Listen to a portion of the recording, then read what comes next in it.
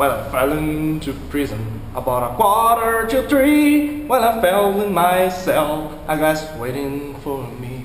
So I filled what was empty and it pulled up this tube. But he stood in the corner, the old devil would move. He said, We drink when you're lonely. No, I drink when I want. He said, We'll never be sober. sober. Should have I want that? I only drink when you're marry.